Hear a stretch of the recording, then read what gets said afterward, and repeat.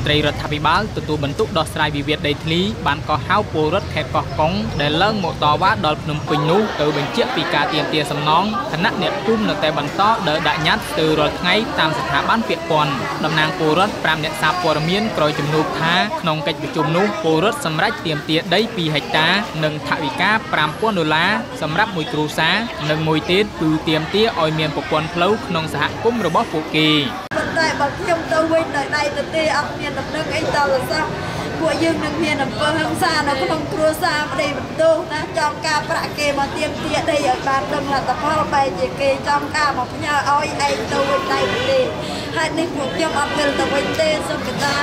ឲ្យបងប្អូននោះមីងអ្នកសារព័ត៌មាននិងអង្គការសង្គមស៊ីវិលទាំងអស់មេត្តាជួយជំរុញនិងពង្លឿនក្នុងការរកដោះស្រាយឲ្យពួកយើងឲ្យលឿនបំផុតពីព្រោះពួកយើងរងគ្រោះធ្ងន់ធ្ងរមែនទែនពួកខ្ញុំមានតែកោហូបឯឥឡូវ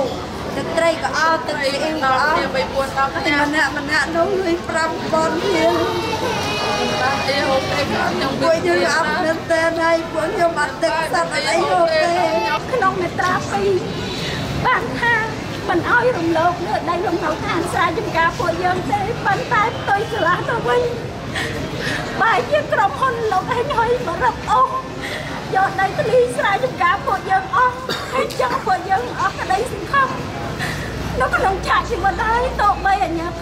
រាជធានីភ្នំពេញ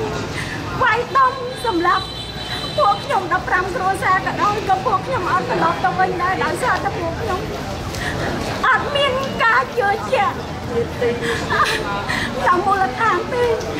ពលរដ្ឋម្នាក់និយាយថាក្រុមហ៊ុនរបស់លោកលីយ៉ុងផាត់រំលោភយកដីគាត់អស់5ហិកតា ដែលលោកថាបច្ចុប្បន្នលោកនៅសល់ដីមិនដល់1ហិកតាទេសម្រាប់បង្កបង្កើនផលលោកបន្តថាគ្រូសាគាត់ជួបការលំបាកខ្វះខាតជីវភាពកូនកូនចំណាក់ស្រុកដោយសារខ្វះដីធ្វើស្រែចម្ការ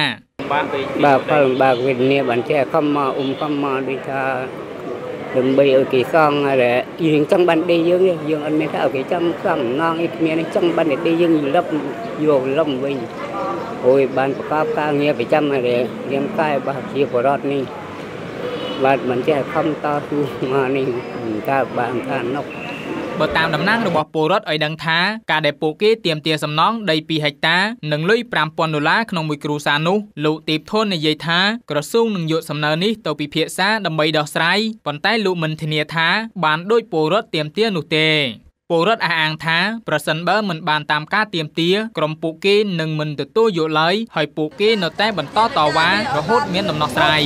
ពីព្រោះពួកខ្ញុំវេទនាណាស់ពួក